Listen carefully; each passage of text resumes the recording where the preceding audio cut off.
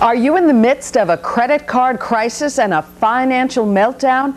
Up next on Real Life.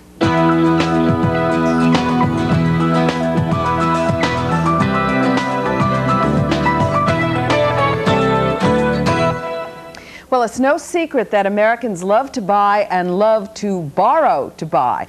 And with mortgage interest rates still at historical lows and many auto loans being offered at 0% interest, it's no wonder we continue to ring up sales. Still, the stock market is down, people are getting laid off, and many of us taking personal stock are not happy with the amount we owe and monthly payments that hurt when we mail them. Today, credit card guru Scott Bilker is with us to help you get debt smart. As we go to break, viewers, do you owe more than you can handle? We'll take your calls right after these messages.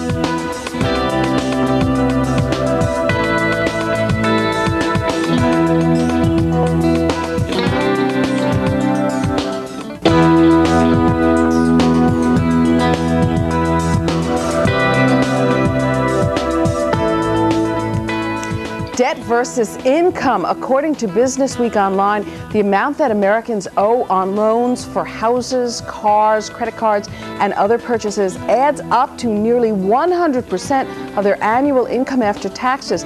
That is up from 75% in 1992 after the last recession ended. That's a lot of credit spending, and it's no surprise with the state of our economy today. Welcome back to Real Life. If you need to buy on credit, and you are getting concerned about your debt, we've got help here for you today. I'm joined by Scott Bilker of DebtSmart.com. He is the author of the new book, Credit Card and Debt Smart. Scott, you've brought some books to give away to our callers. We want to thank you for that. First four callers who ask for the book will receive a free copy of Scott's new book. How you doing? Great. Thanks for having me on your show again. Well, it's always great you know, here. we love to talk about this, and it, the, these, the debt ratio for most Americans is really it's really high. It's climbing too. I mean, in July we saw like an 11 billion increase to 1.7 trillion. In, trillions and trillions of dollars. right, and, and more than half of that's in revolving debt. So it's really starting to affect everyone's day-to-day living. Uh, Mm-hmm. The amount of debt that they carry and the cost of, the, de- of that debt, because at those high at, at high rates, because not everyone gets a great rate. At the high rates, it's really expensive. Right, and we should go over some of your basic ideas about how to proceed. A lot of us have credit cards maybe we've had for a long time that have rates on them of 17 to 20 percent. Meanwhile, we are getting all these offers in the mail every day 0% on whatever you transfer, or uh, 2% for six months. What do you think about when you get those things? You get, you get them all, and you, of course, have a slew of credit cards that you don't use. But, Right. but what, what do you feel people should do when they get these offers? Don't throw them away. Right. You don't want to throw those offers away because they're a big opportunity to save a lot of money. Catalog those offers, write them down, especially the ones from your current credit card banks, because that's where you always get the best deal. They're the ones that are going to give you a 0% deal. In fact, I have four credit cards over the last year that uh-huh. gave me 0%.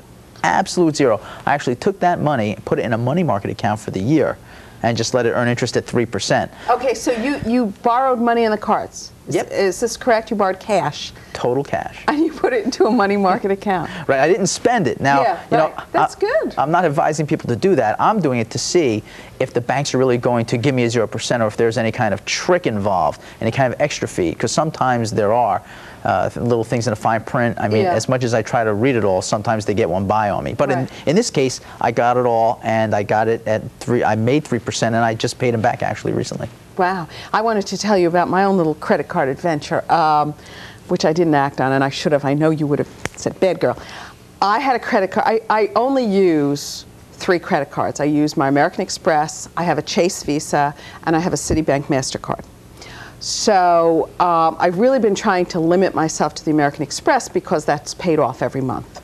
Um, and I never activated my Citibank MasterCard, which I used to use a lot last year, but just for some reason I didn't activate it. Um, and two months after the activation period, you know, was over, I got a letter from them, and they said if you activate by October 7th, we'll give you a 5% interest rate. Wow, that's really good. I've And never that heard was that. From my, that was from, uh, you know, I have a high rate on that card, but I just never activate, and I, I missed my deadline. Maybe they'll send me something with an even lower rate, but, but yeah. Oh, I, I would bet that that's still going to stand. You know, every day I hear something really good. That's a really good story. I never, uh, I've never heard that one. Yeah. You know, I hear some that are good and some that are not so good. Like today, I heard one. Uh, someone told me that they they were at their max on their credit card, Mm-hmm. and then it was the time for their annual fee. Right. So the bank charged them the annual fee, which put them over their limit. Oh. So then they charge them an over lim an over limit fee. So what do you do when, when something like that happens? Well, in that case, I told this girl. I said, "Look, how long have you had the car?" She said, five years." That's a long time.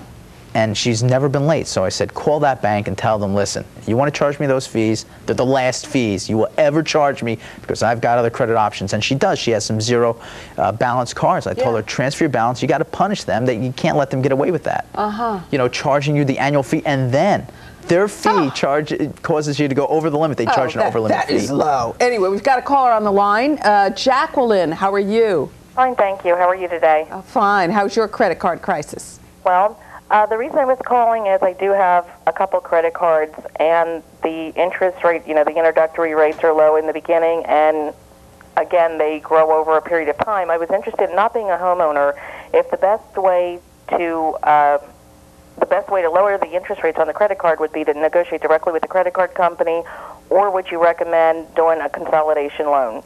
well, it depends payment? on how's your history been with those credit cards. Excellent. Oh, well, then you could definitely negotiate with them. If you have two, you said you had two cards? Yeah.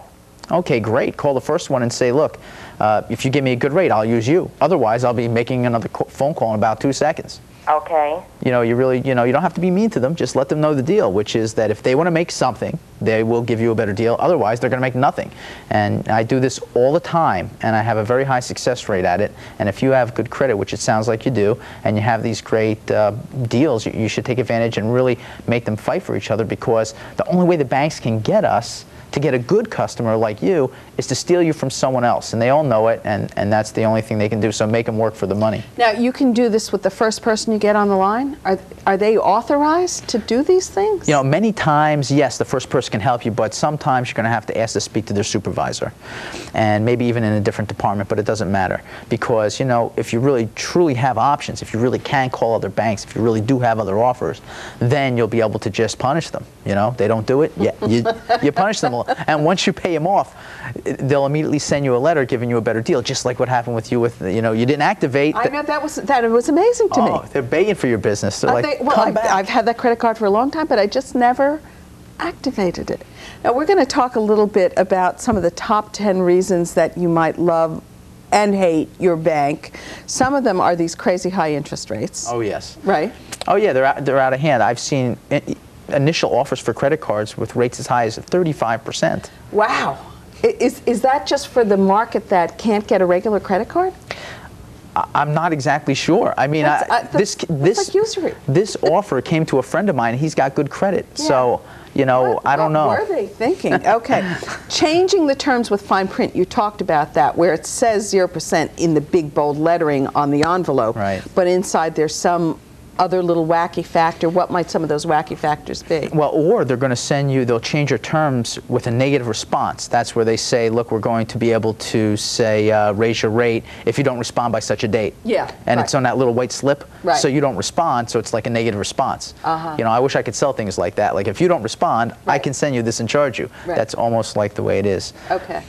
Old bait and switch, which is they hook you with one rate, right? Yes, they'll send you a credit offer in the mail. You're right. The, the big bold letters, 0%, 0% for six months, 9.9 fixed, $5,000 credit limit, no annual fee. You apply, but what you get is a $500 limit card with a $50 annual fee at 19.8%. didn't order this. Okay, and we're going to go through very quickly uh, other two uh, pe- penalties for being late to other creditors. Oh yeah, that it's really insane now because what, what a lot of banks are doing is if you're late, not to just somebody else. Yes, like you're And they pick it up on the credit report or whatever. they'll raise your rate. This has happened to many friends of I mine. I know we've heard about this. Nasty, nasty. Okay, we're going to take a quick break. Our question to you as we go out Has your credit card debt hurt you when you applied for a loan? Give us a call.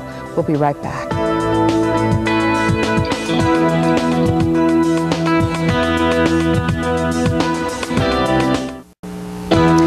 Coming up on Real Life on Wednesday, we'll have another installment of our ongoing series on alternative health, anti aging therapy. We will talk about human growth hormone and other agents used in keeping us looking and feeling younger. On Thursday, planning a wedding. As young girls, we all fantasize about our dream weddings. We grow up, we get engaged, and reality slaps us in the face when we start planning that wedding. Our expert guest will take your calls on planning your reception.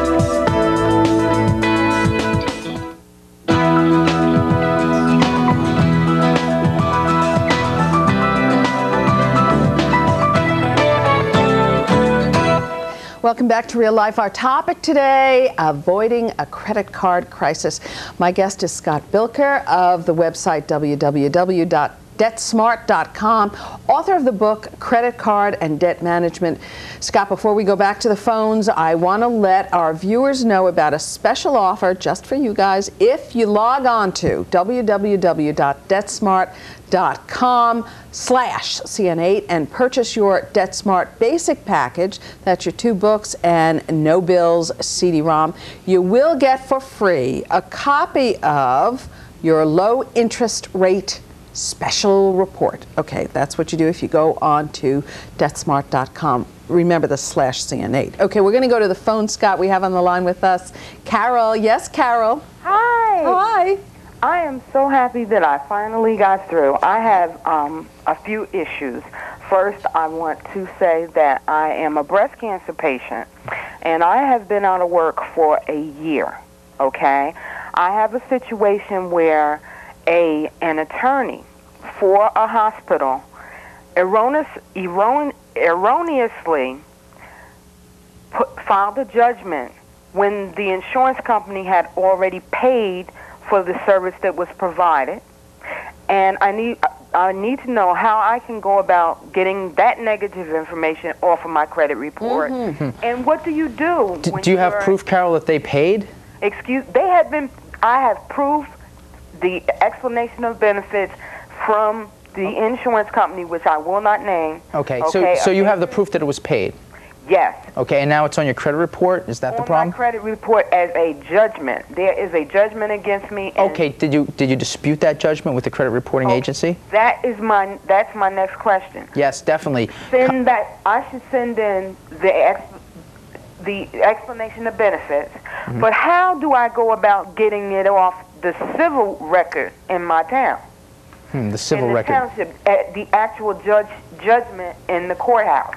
Now, have you have you talked to the law, lawyer who filed this judgment? I have tried to talk to these people, and I have told I have faxed them copies yeah. of the EOB, the the insurance company. I might as well say it is Prudential. And, Prudential uh, has sent them copies, right? And they still went to court. They said we're not going to go to court, and they still went to court and filed a judgment against me, and they won. Okay, and they've been paid. That means they they've been paid not once but twice. Okay. Okay. It sounds to me this is something. Unfortunately, it sounds like you could use a lawyer for. Is it a small claim? How much is it? This, we're talking. It's like, it's the the actual bill was a hundred and nine dollars mm. for a pulmonary test. Yeah. But the judgment and the fees are over seven hundred dollars, and I right. refuse to pay them. You know, Carol, you definitely should speak to an attorney about that, uh, all the legal issues. But as far as your credit history goes and your credit report, contact your credit reporting agency and you can give them your proof. And they'll have to investigate it. And if they can't show that it's a valid charge, then they'll have to remove it. Okay. So at least you could do that. We wish you the best of luck. Uh, Kelly, you're up. Good evening. Hi. Hi. Um, I have a comment slash question. I have a lot of credit cards. Okay. And I tried to do a debt consolidation loan with my credit union, but my debt ratio is too high. It's not a problem with my credit. My credit's fine. I just want to consolidate everything down in one bill, and I can't seem to do that because, like I said, my debt ratio is too high. Okay, what, what are the rates on your current debts? What are the rates? Yeah. They go anywhere from 14.88 to 21.9. Okay, do you own a home? No, I don't. Okay, so you have a, and how much debt are we talking about, Kelly? Uh, it's about 12000 Okay. Okay. So, uh, have you talked to your individual credit card banks? I'm sorry? Have you talked to your individual credit card banks about either having them give you a, an increased line of credit and transferring balances onto fewer cards at a better rate? No, I haven't done that yet. And my reason is this: I wanted to ask you: Is that something if you call your credit card companies and they, if they agree to lower your interest rate, or is that something that reports negatively on your credit report? Absolutely does not report No. negatively. It's it's totally to your benefit. Give one a call and say, "Here's the story. Okay. Raise my credit limit." And I will transfer some money over to you today, but I want my credit limit raised and I want you to lower my rate. And I'm going to be calling all my other banks too. First one to do it's getting my money. Other ones will get nothing. Okay.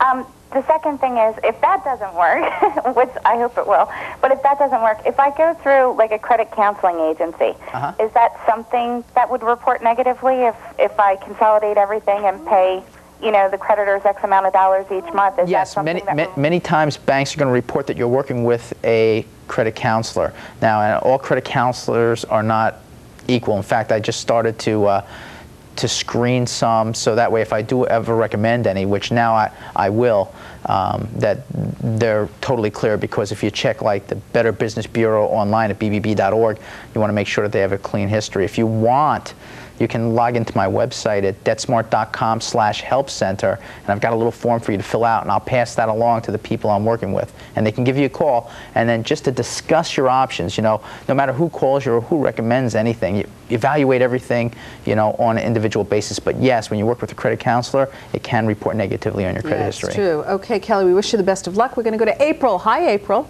Yes, hello, how you doing Yeah, today? fine, thanks. I'm calling because um, I was fortunate enough to buy a house uh, a couple years ago. And uh, everything, one thing led to another, and I was able to get a large amount of credit cards. Now that I'm looking at things, I want to be able to step back and to get rid of them. I've called and I canceled a couple of them. Um, it's just a, it's a lot now. What's the? Because I have I had a nice credit rating. Okay. What can I do to get back on track? Okay so you bought a house you have some credit cards you're trying to pay them off and close all your accounts Yeah, I can I called. I count. I canceled a couple of them. but do you have balances on the ones you've canceled Yes. Uh, it's not really good. Although they might be canceled, it still shows that you owe the money until it's actually paid off. It's still going to be on your credit report. Uh, what are the rates of the ones you currently have? They were like uh, probably like 12. Okay, so that's not so bad. I would say my personal opinion is to not be too hasty in canceling these accounts, only because you can use them to fight for your business. Even if one goes to zero, balance wise, you owe nothing, and you owe something on another card, you can call the one with the zero balance and see if they'll give you a better deal. Today, more than ever, the banks are begging for our business. And just as Mary mentioned a second ago, of how when her, she didn't activate her card, they called an offer of 5%, which is a great rate. You know, by having your accounts open and just not spending them, not using them, you're going to be able to make them uh, give you better deals and eventually pay it off to zero, and then you can do your master plan and just wipe them out.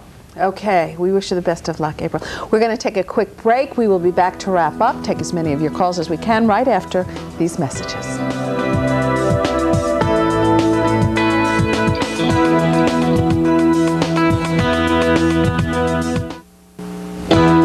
Next time on Real Life, we'll have another installment of our ongoing series on alternative health, anti-aging therapy. We will talk about human growth hormone and other agents used in keeping us looking and feeling younger. That's next time. Welcome back to Real Life. We are wrapping up our topic today, avoiding a credit card crisis, with uh, Scott Bilker, author of the Debt Smart email newsletter, which you can subscribe to at his website, www.debtsmart.com. Okay, Scott, we're going to go to our back to our phones. Bill, how are you? I'm doing well, thank you. Okay, tell me, tell us your problem. I have a question. Um, I, a few months ago, actually about a year and a half ago, my wife and I got married. We bought a new house, and shortly after that, we decided to consolidate both of our credit cards and use a credit um, counseling company. Okay. At this, we just tried to refinance um, our house, and our rating wasn't good enough to get a new refinance. Okay. We're now at the point where do we continue on with the credit counseling company, or do we go ahead and call the individual companies ourselves and try to do it on our own? Well, the, is the reason, Bill, that you got rejected for this refinance because you were using credit counseling? It was one of, one of the one of the credit cards is getting paid late by the counseling company. The counselor's paying late. yes, and we've tried to we've tried to remedy that by Oh. calling them. They're gone. I mean, it's time to be finished with them. I think Eh, they should not be paying late. I mean, that's their, their job is to pay on time. And I, and I understand that, but however, does going with a company like this Mm-hmm. hurt you as compared to going it on your own? Well, certainly in this case, definitely go go it on your own. Again, if you go to my website and go to debtsmart.com/help center, I could refer refer you to someone who I I think is good, who I trust. And uh, uh, but you should definitely call those companies and see if you can do it yourself. I always recommend trying to do it yourself. First step, call them, see if you can do it yourself. Try to do it. And, and don't you think that Bill has to clarify to uh, the people to whom he owes debt that it's not his fault the card's being paid late? That's true. I mean, he can clarify that, but ultimately it's still his responsibility Yeah, because they don't really take control of it. And uh, this has happened to other people I know. In fact, a friend of mine wrote an article on my website about that, the trouble he's had with his, his credit counseling company. He- Okay. He, fired him for the same reason. Time to go it on your own. Okay, we wish you the best of luck. We're going to go next to Nikki. Hi, Nikki. Hi, how are you? Fine, thanks. What's your issue? Um, I have a question. It's it's related to credit cards, but it's it's more focusing on um, student loans. Okay. And um, I was recently laid off in December and took a series of temp jobs, and I wasn't able to pay my student loans. Okay. So I requested um, um, a forbearance and where I can defer them. Right. So I filled out the paperwork in March to defer them, Mm-hmm. and they finally went through approval, and I'm going to resume payments um, in June of 2003 Okay, great. so that I can get back on my feet. Now the problem is is that the lender that I went through didn't tell me that the state is a whole separate issue. The loans that were taken out with um, the state of New Jersey Mm-hmm. are totally different than what was taken out with Citibank. So Okay. now I'm like over 90 to 120 days past due on all of my state oh, loans. Okay, you thought they'd all be consolidated. I thought it was all together. I didn't know that it was separate until I'm getting notices from the state of New Jersey that I'm defaulting and I need to clear this up with my lender. okay, did, did you contact them? I, I sent them I sent them um, a fax yesterday. Okay. With you know the documentation for my my CitiAssist and my city loans, um, but I just want to know how my credit rating is affected now when it was kind of their fault indirectly. Well, you know, of course, their argument is going to be that, you know, because they were your loans, they're going to say it was your fault. But, you know, I, I, I'm with you. They should have let you know right away since they knew about all your loans, the fact that you should have contacted the state. They should have really advised you about that. But now that that's over, those late payments are definitely going to affect you in a negative way. However, maybe you could talk to the state, those people, explain it to them, and maybe they'll remove them. I mean, it's possible. You can ask. You could say, look, I'll clear it up. I'll make the payments. I didn't mean to be late. It was an accident. Could you do something with my credit report? Can you make it better? Okay, very quickly. I think we've got Nirvana on the line. Hi. Hi, this is Levon. Yeah, Um, very quickly. okay, I have a, a lot of credit cards on my credit report. Zero balances, but they're open lines. Do I close those accounts? I thought it was always good to have them on there, but now they're telling me I have a high credit to debt ratio because of the amount of a line of credit against each card. Okay. Because of what you have available but haven't used. Very interesting question. Yes. About 30 seconds to black. Okay, you have no, if you, if you have no uh, balances, then you might want to close these if you're going to get a house. But if you don't really need to get a loan or use your credit report to get any new loans, then it won't hurt you. Okay. But if, if you are planning to go out and seek a mortgage. Yes, then you should close those accounts. Okay, so that you are debt smart in Right. preparation. Well, Scott, it's been great as usual. We appreciate all of our callers' questions. See ya.